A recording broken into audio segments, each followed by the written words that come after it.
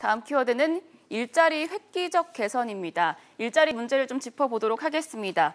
얼마 전 실업률이 역대 최고치 수준을 기록했다 이런 소식 전해드렸었는데요. 지금 청와대 일자리 수석이 고용 상황이 또 획기적으로 개선됐다고 강조를 했더라고요. 박사님 누구의 말이 맞는 네, 그 상당히? 생뚱맞은 어제 기자 간담회였어요. 네. 총선이 1년 이제 앞으로 다가와서 그런지는 모르겠지만 저 일자리 수석 맡으신 정태호 수석께서 서울 관악구에 출마를 여러 번 해서 뜻을 못 이룬 아마 여의도에 조금 한이 있으신 분으로 알고 있는데 저분이 지난번 선거에서도 오신한 바른미래당 후보하고 선거에서 졌죠. 네.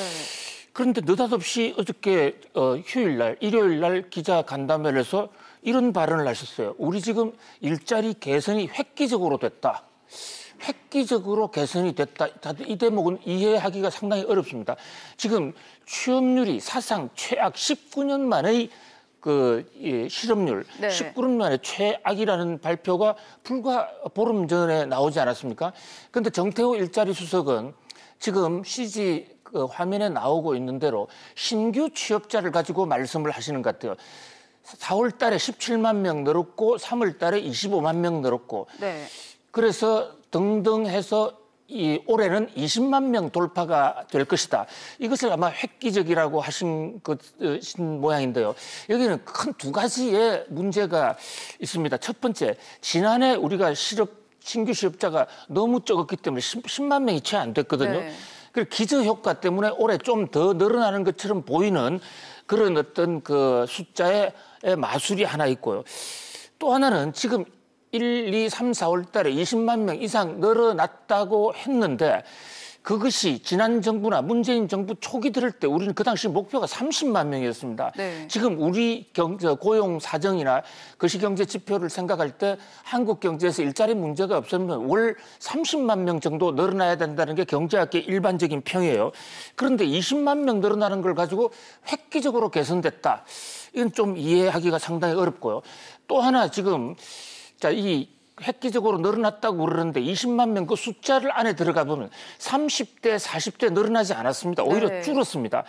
50대, 60대에서 늘어났는데 정부 재정을 통해서 일주일에 한시간 일하는 사람들까지 길거리에서 청소하는 사람들까지 포함시켜 가지고 늘어난 숫자거든요.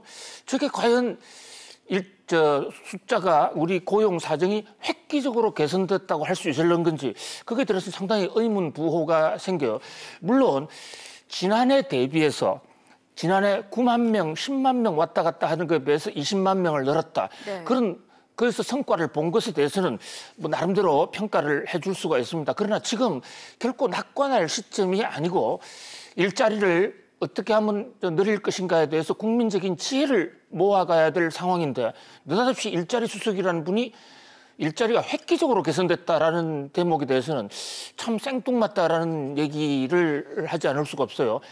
유승민 바른 당전 대표가 그 경제학자 출신이지 않습니까? 네. 이분이 청와대 사람들은 달나라에서 왔는가라는 얘기를 며칠 우리 소개를 해드린 적이 있는데 네. 바로 정태호 수석의 고향이 달나라인가 이런 생각을 한번 해보게도 됩니다. 아무튼 일자리 문제 우리 같이 노력해야 될 큰 과제입니다. 네, 계속해서 세 번째 키워드 보겠습니다.